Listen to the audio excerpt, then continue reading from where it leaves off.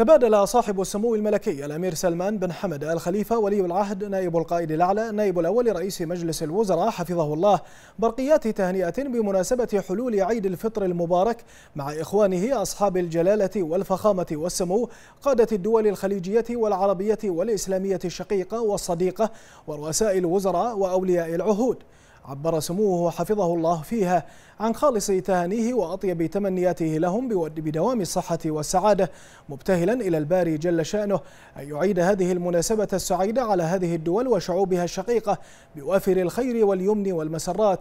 سائلا الله عز وجل أن يحفظ الجميع في ظل الانتشار العالمي لفيروس كورونا.